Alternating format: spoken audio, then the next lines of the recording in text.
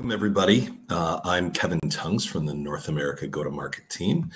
Uh, very excited for this next presentation uh, about Fuse 8 and really getting into that pathway to move from our integration components to uh, uh, where that modernized space is. So I'd like to welcome my good friends, Sergio and Michael, and really excited to hear you guys' presentation today. Sergio, let me hand it over to you. Okay, thank you very much, Kevin.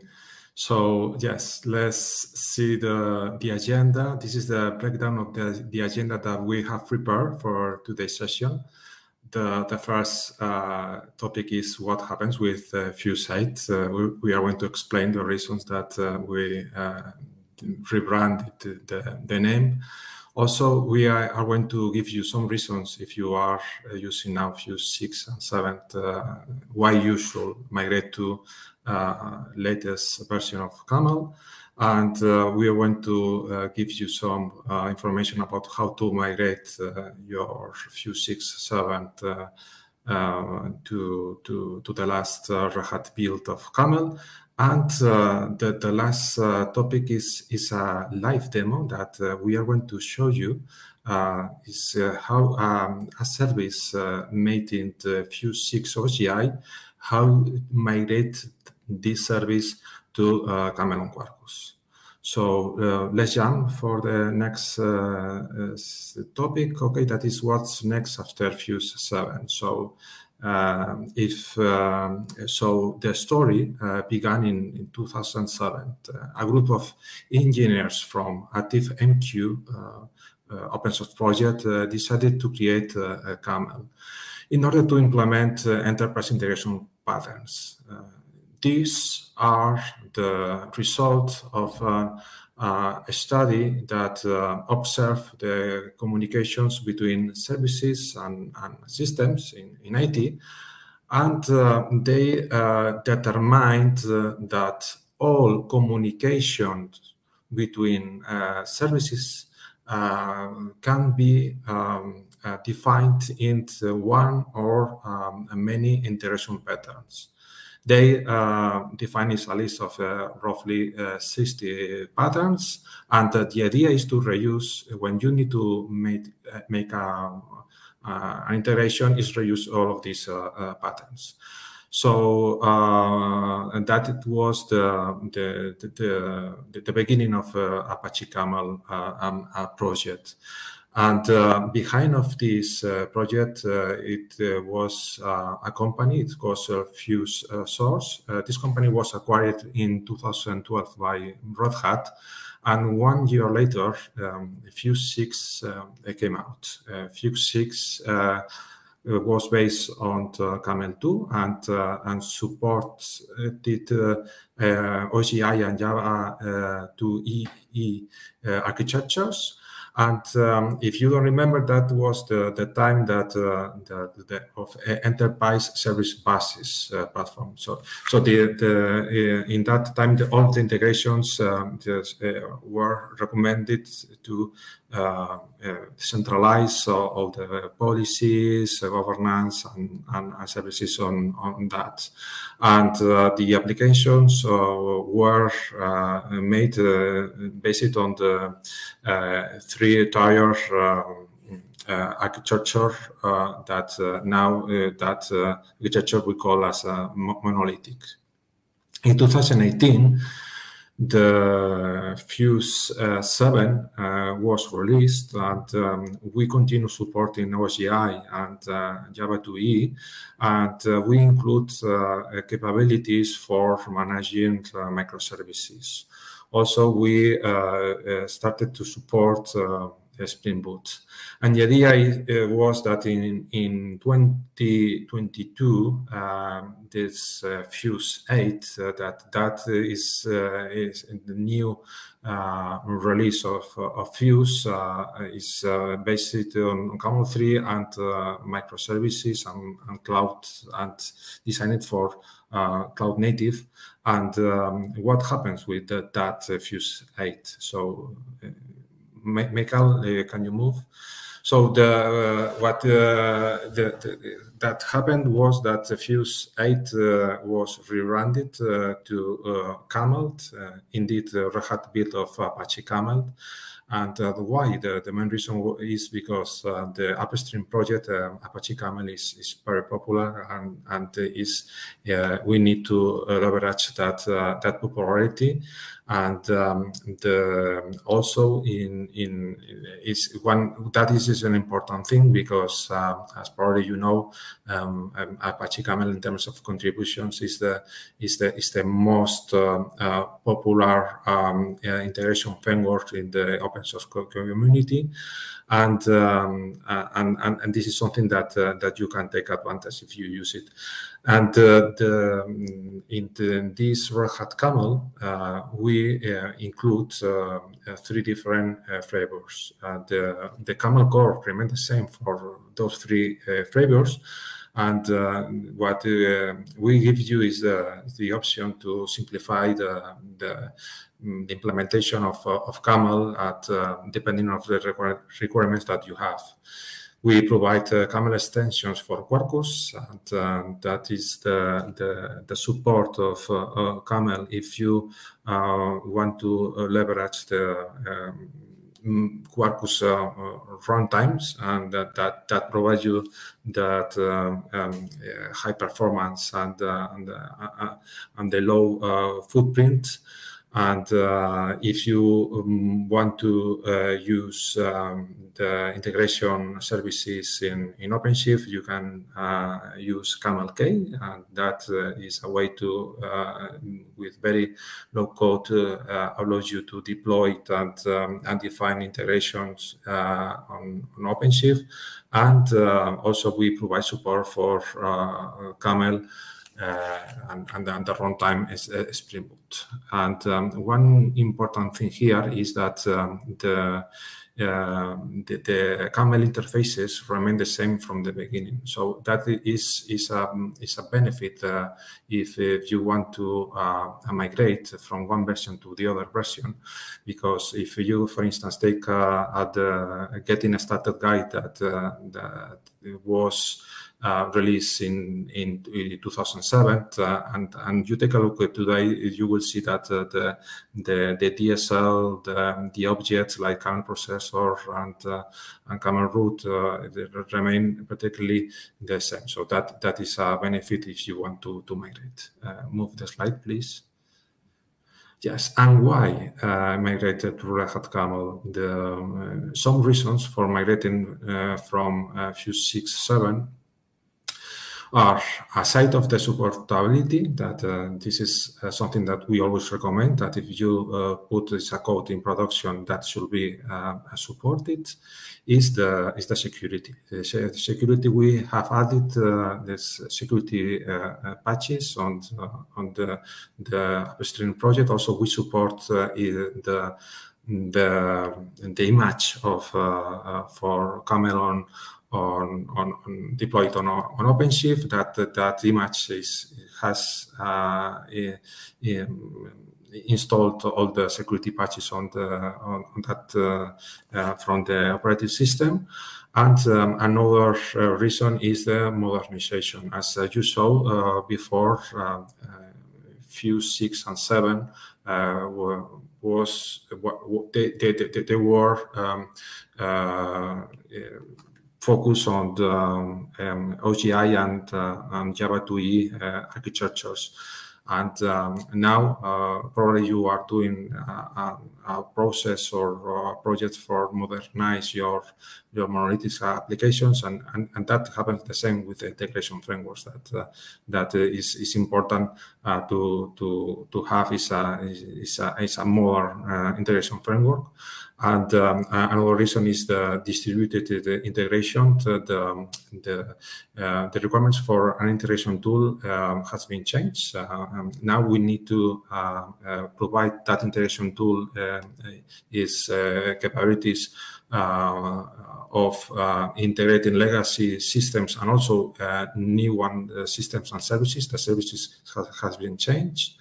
And um, and it's important that uh, the integration services must be uh, close uh, where the services that you want to integrate are deployed. And if now the, the you you can deploy these services on different clouds and and platforms, and that is the one of the um, of the key values of the the new um, uh, Red Hat Camel.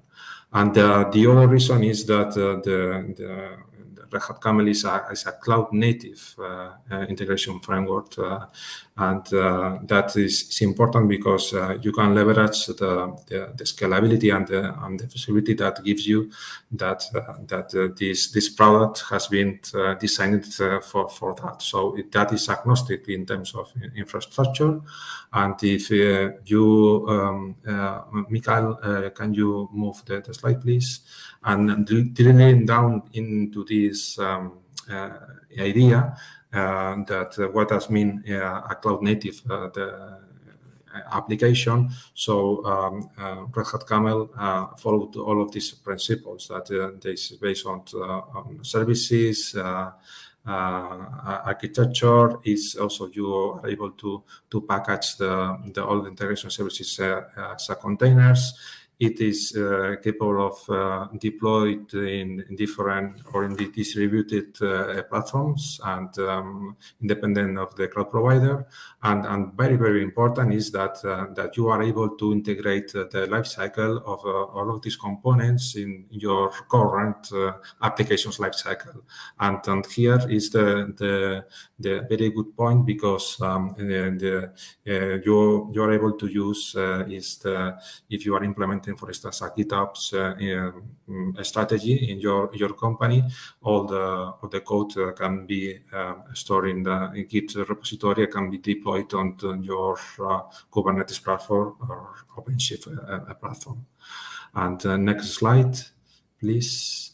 And also, it's important that um, the um, Red Hat Camel uh, has uh, been designed to, integrate uh, directly with um, OpenShift and leverage the Red Hat ecosystems.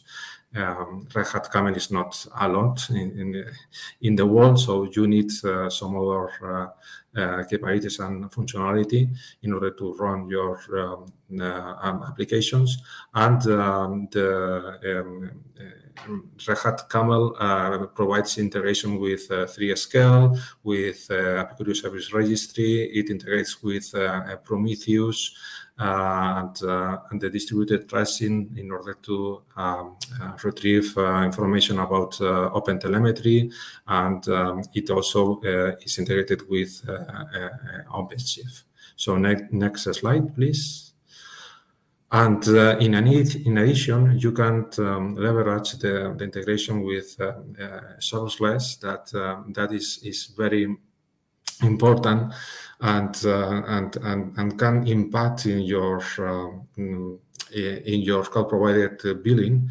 Uh, because um, uh, that is the capability that allows you to reduce to zero the, the resources that are running integration uh, uh, services uh, when no system is is calling them. So that that is a, a, very interesting feature, and and and and uh, this is uh, that uh, that's something that you can leverage with Red Hat Camel. So, um, Mikhail, I'm going to hand over to you.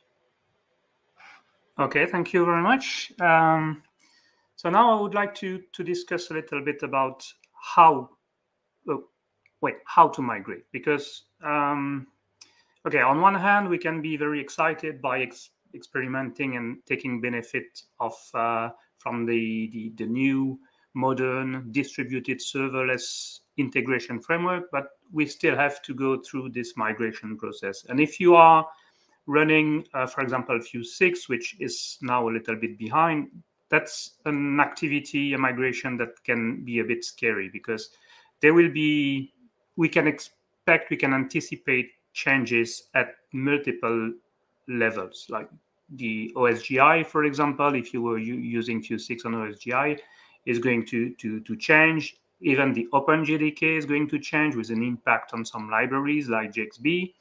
Uh, Karaf or Fabric will be translated into um, something else. Could be Kubernetes. Could be could, could be could be another platform.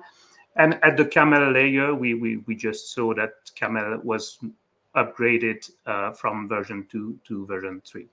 So th this could be this could be a bit scary, uh, but and indeed, if we if we break down uh, the different activities that this migration can uh, can lead to, we we have impact real in concrete impact everywhere. So for the JDK, I said the JAXB uh, is no longer with the migration of the OpenJDK, the JAXB is no longer in the, in the Java core, so we, we need to, to add it as, a, as an explicit dependency. If we were using OSGI, well, things like features lists, they have to become Maven dependencies on the platform if I want to migrate from Fuse 6 to something running on Kubernetes, I need to, to think about the best practices on such a platform. So best practices around containerization, like relaying on config maps, relaying uh, on a health check, and uh, things like that. And on the camel side, well, if, if I was using, for example, Blueprint XML, which was very common uh, with uh, Fuse 6, well, I will have changes in the XML because the namespaces are not the same. The structure of the XML is not blueprint anymore. Uh, then there are um, differences in the, the, the way the, the, modules are, are compiled. Uh, some components has been renamed and some components has, been uh, have been deprecated. So uh, actually, we we thought about uh, about how to make it easier for the people being in Fuse 6 and Fuse 7 to go to the Red Hat build of Camel. So we, we, we started to, to think and we took a, a community uh, initiative and the, the, the thinking was, okay, if I want to do, if I wanted to do this migration, what would like, what would like it to be? And we thought that, well, basically, I want it to be limited to the only thing that I absolutely have to change. Like, for example, the component being renamed, okay, I can take care of that. It's not going to be a big deal. The functionalities are the same. It's just the naming that changed. So I, I can translate that very easily. Deprecated components, yeah, okay. If I was using XML JSON, I have multiple possibilities to, to work around that. I need to choose one, the best for me. I can take care of that. However, changes in the platform, changes in the runtime, changes in the OpenJDK, I don't really want to take care of those changes. I, I would like something to, to do that for me. And so we, we took the initiative to create uh, some templates uh, for Spring Boot and for, for Spring Boot, for Quarkus, and for CamelK that would actually abstract all the technical details and what and the migration hopefully will be reduced to just the the things, the functional things that are mandatory to, to, to change, like the name of some components and the deprecated components. Yeah, so at the end, what I would like the uh, migration to be is that I would like to have a, a, kind of a framework. I just need to port my Camel application onto that, frame, that, framework, the one that I choose, the Spring Boot one, the Quarkus one, or the Camel K one. And when it's done, I will just have to take care about a few things like what is deprecated, and there, there's a very limited uh, number of components that have been uh, deprecated. Okay, so I think the best is that I try to show you. Um, so let me uh, try to show you what it looks like. So uh, the templates are in this um, GitHub repository, uh, so it's totally public. You can uh, uh, go there, you can contribute, you can feel free to, to, to have a look. So you will have a, um, a, directory called templates where the templates are. They are sorted by application type. So there is REST, REST type of application, so uh, HTTP or AMQ, very typical uh, kind of applications. Um, you will also find all the uh, instructions to migrate those to port uh, an application to to those uh, each of each type of application to to the to the uh, the latest version of uh, the Red Hat build of Camel. Um, there are a few examples of application also in the in the repository and uh, what i would like to try to do with you now is to take a, a rest api implemented in fuse 6 so that's going to be something like blueprint xml osgi um, uh, api implemented with uh, um, uh, CXFRS, which was the library at that time, which doesn't exist anymore. So indeed, the the, the migration uh, needs to needs to be performed there. Uh, and I would like to try to, to migrate it with you with the templates. I will do it manually. You will see that it's easily um, easily uh, can be easily automated. I'm gonna do it do the, the, the migration manually so that you have a feeling of what it would uh, look like and what what the what the effort is with the templates. Um, I've already downloaded the uh, templates and the application. I've put everything into the same directory so that I'm going to use this uh, this uh, VS Code to migrate, and uh, I put everything into the same uh, directory. So we have uh, the, the two templates: the Quarkus one, the Spring Boot one, the CamelK one, and the claim demo is the is the Fuse six Fuse six application that we will migrate. everything is visible here, so that will be very handy to perform the migration. So the the source application runs on the uh, uh, good old Fuse Fabric 6.3, if I'm not mistaken. Um, so I've just launched a, a, Fuse Fabric with Podman in a local Docker container here.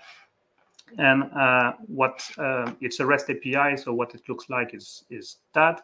So if you've been using Fuse 6, you recognize the port 8182, very, very common for a Fuse Fabric uh, and the CXF uh, prefix, which was also very common for every kind of application um, implemented with CXF. You will see here that there are two times the status in the URI. Uh, and actually, it's on purpose. We will we we will consider that this is the kind of mistake that we want to correct as part of the migration, and we will see here that thanks to the new way to deploy REST API with Camel, with Camel 3, uh, that's something that is very easily and transparently uh, modifiable um, uh, with simply with an open API spec. So uh, this is an example of uh, the, the response that it gives. So it just gives some information about a claim that has been raised by, uh, I'm going to try to zoom in a little bit so that you can see what, what it this okay. So it just gives some information about uh, about a claim that has been raised okay? So let's try this is a fuse 6 application. Let's try to migrate it as fast as possible to either quarkus or spring boot. And what i propose is that we do quarkus and spring boot at the same time because the purpose of the template is to abstract that. So that should be should be very very easy to do both. Okay, i'm gonna zoom in a little bit here as well. So there are a few steps there's no specific order. We just need to complete all the steps for the migration to be to be to be finished. Um, so we can start, for example, by the configuration. Um, so let me try to zoom in a little bit. I'm not exactly sure how I can zoom in here, but maybe once it's in on the on the right, it will be uh, clear. Um,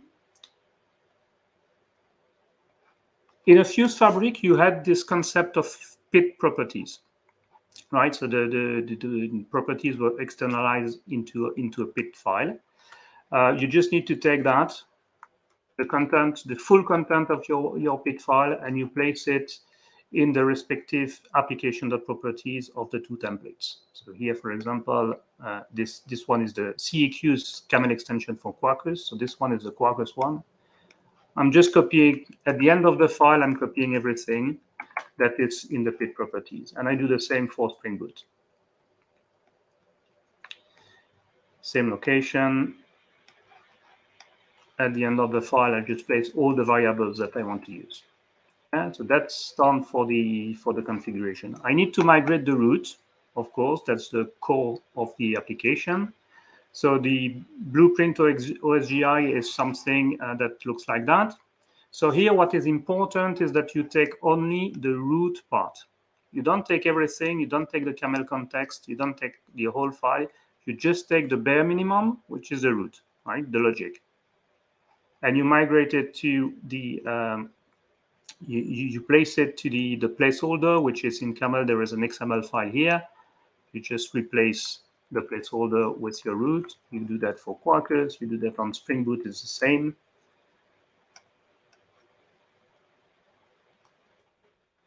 Okay, now if you look at the route, you see that it uses a, a custom processor. This is something very, very common uh, in uh, in Camel to have a, a external uh, external processor written in Java. So uh, first thing, of course, is that you need to import the Java package. Very easy. You just take the full package and you place it into the Java folder for both Quarkus and Spring Boot. Yeah.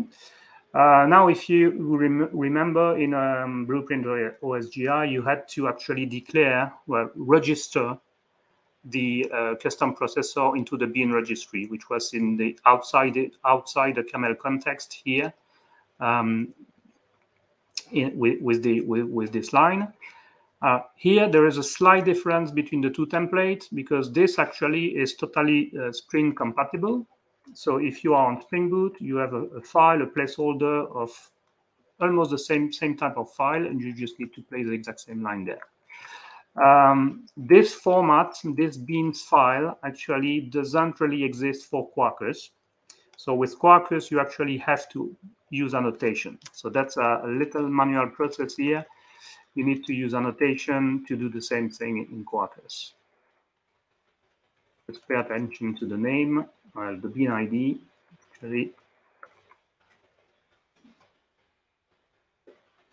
All right, so we've migrated uh, the route, but the route, let me take back the uh, blueprint XML. It's an API, right? So it was implemented with CXFRS library. Doesn't exist anymore in Camel 3. Uh, now the best way, the recommended way to define API is to use the Camel um, the camel uh, rest component and with the camel rest DSL as well. Uh, if you use the REST DSL, you have a, a, separation of concern that is very nice. So you have the implementation in one place, which is the camel route, and you have the definition of the API of the API in another place, in another file. So you can do the management and the governance of the API with a, a more flexible way. Um, so how does it work? Well, that's quite easy. The only thing you, you need is the uh, Open API spec of your uh, API. It's a very good practice to always have uh, the uh, Open API spec of all your APIs. So if you don't have them, uh, uh, I would consider that maybe this is a, a, prerequisite for the migration to have proper Open API that will help a lot after the migration to apply global governance, API management, and so on over the API. So I actually created this one uh, because it didn't exist for this particular Fuse 6 application. So I created created it with uh, Apicurio API Designer, and I exported it as a YAML file as here. So all templates, both templates, have a Maven plugin to generate um, to generate the, the the camel code that you need for REST API based on OpenAPI spec. So the only thing you need to do is that you place your your OpenAPI spec into, I'm going to take, for example, the Quarkus one, into the source main spec folder. And then you can immediately go and use the use the Maven plugin. So if you use Maven Camel REST DSL Open API, and then the goal would be generate XML. If you are, if you prefer to work in Java, you can generate in Java as well. But starting from a blueprint XML, it makes sense to keep using uh, XML. So once uh, it's done, you should find in target generated uh, an XML file with the exact representation in Camel of a REST API. So you just take that and you place that in the placeholder, uh, which is the rest.xml file for both templates. So you just put it there, here. And for Spring Boot, that's exactly the same location, same file, you place it here. Now, how does the link, how does it work? I mean, how, how is it working from the REST um, definition and the REST implementation? Well, it's by the operation ID, which is just here and comes from the OpenAPI spec. So you just take the ID, you go to your route, and you replace the CXF line with the operation ID. And you can do that both in Quarkus and Spring Boot. Yep. And that's pretty much it. Uh, there is one more thing that you might want to do, and that depends on uh, what would be the clients of your the, the clients of your API after the migration. Because if your client applications were already CXF based application, you might have this in your application, like uh, the operation name. It's a requirement. It, it's something used by the CXF framework. So you might have this operation name in the in the header and to actually to help know which Java um, which uh, Java method to call and, and, things like that. So if you want your application to be compatible with new clients which are not CXF, you need to kind of remove it. So the best way to meet, well, the good way to remove it is to actually clean clean up your file. Well, there is a very easy way to remove it is you do something like that. And that works as well, right? So you can do that like that in both. And that would do the job. Uh, one thing that you can clean up as well, just because uh, we removed the dependency to CXFRS, so the Java API, the, the, Java version of the API that was used by the CXFRS server, you can you can actually remove that. And you can do that for both Spring Boot and Quarkus. And normally you're good to go. So let's give it a try. So this one is the Quarkus one. So if I do um, in Quarkus have. Hopefully, if I haven't forgotten anything, it should give something. Okay, so if I go back to my REST API, and it's it's so the it makes the the migration transparent. So it's gonna it, it actually maps the, the the new application to the same port, and it keeps the prefix, the CXF prefix. We just decided, thanks to the Open API spec, that we would simplify and uh, and restore the, the, the, API to the to to the, the to the one with only one status. So if I do that, in theory, I should um, mm, not found. Sorry. So what did I what did I um, oh yeah um, oh yeah sorry uh, I need actually to exit from my um, fabric because it keeps my port 8182 uh, busy. So the application couldn't actually go to this port.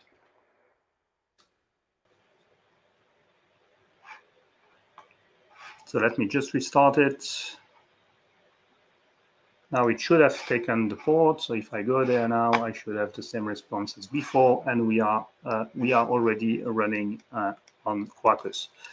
Uh, should do the same for Spring Boot. So just in case uh, we want to be sure if I do that here. I should also have my application already migrated on Spring Boot.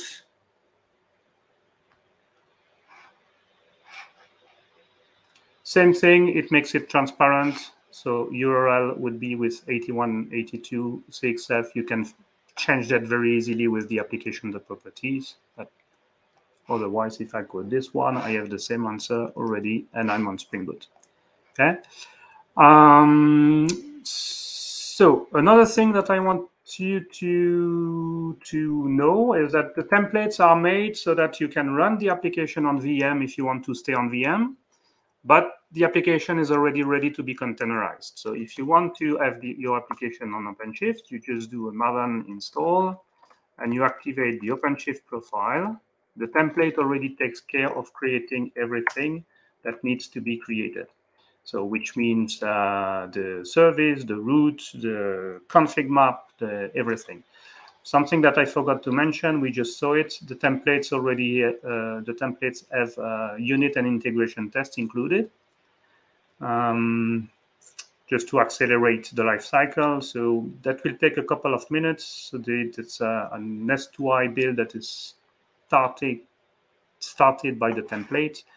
If I go, actually, I have my um, I have my uh, my uh, OpenShift running here. Uh, so we see that the build is already is already starting, is already running. Um, so the templates make the application ready for OpenShift. It makes also the application ready for CamelK. If you want to run it uh, as a function, you can run it as a function as well. Uh, so I'm not sure I still have time to show that to you. Maybe, maybe do I? Um, yeah, let's try.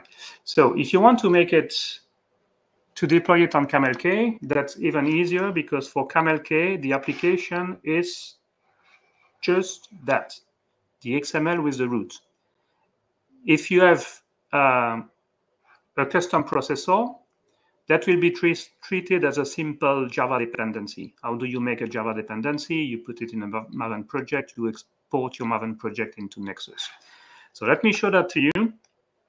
Uh, and this is because this format, we take the route. Remember, we didn't take the camel context. It makes it automatically compatible with CamelK. So, uh, so for this, this application, so on OpenShift is uh, almost ready. Uh, we're gonna test that just after. Let's take uh, care of CamelK now. Uh, so if you want to deploy the, your application to CamelK, you need to have your processor as a dependency. So very easy. You take your Java folder.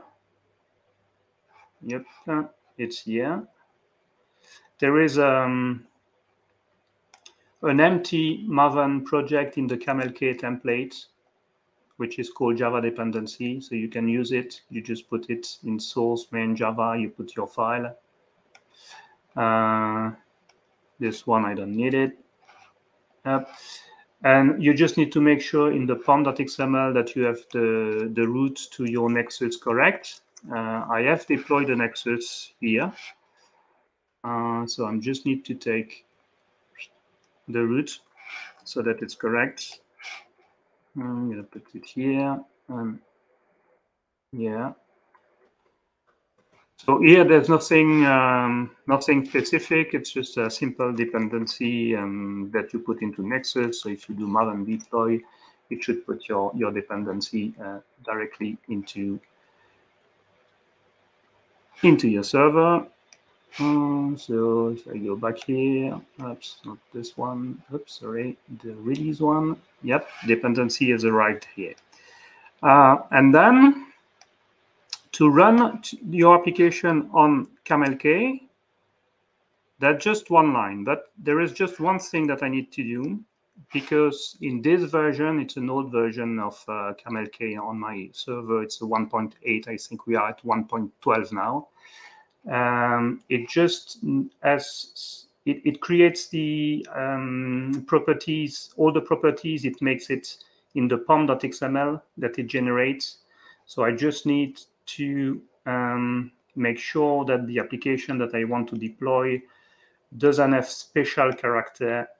And so I'm gonna just comment those line because the person sign is going to um,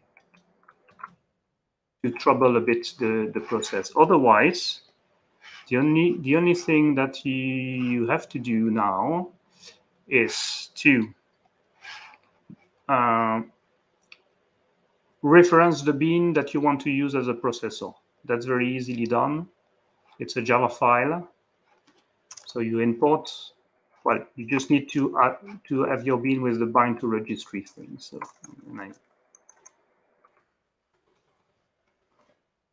I'm putting bind to registry. I put the bean ID the same as before. And I just need to instantiate this bean so that it will be in the, there will be an instance in the registry. And the package, if I'm not mistaken, is this one. Yep. Very good. All right. And that's it. If I now do something like it, not this,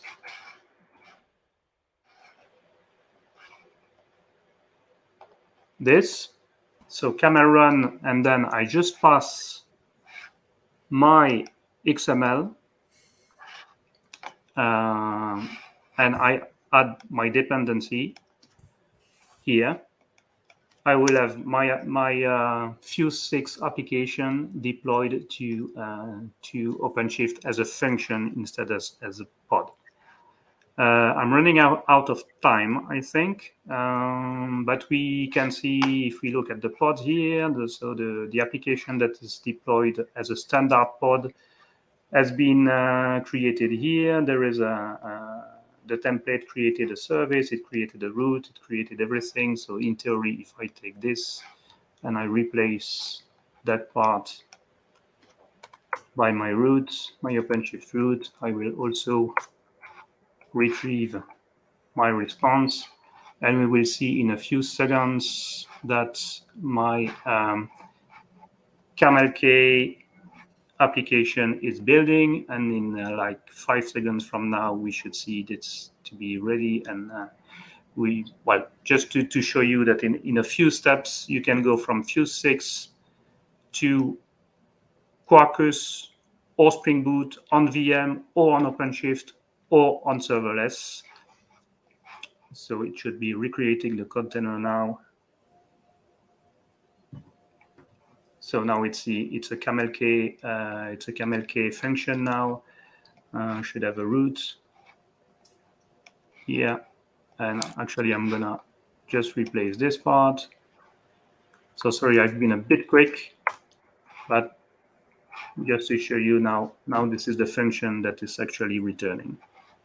Awesome. Okay little bit out of time. Uh, sorry for that. I had to I had to go very fast, limited time, but you can see that in a, less than half an hour, I could have a, a Fuse 6 application on CamelK thanks to the template.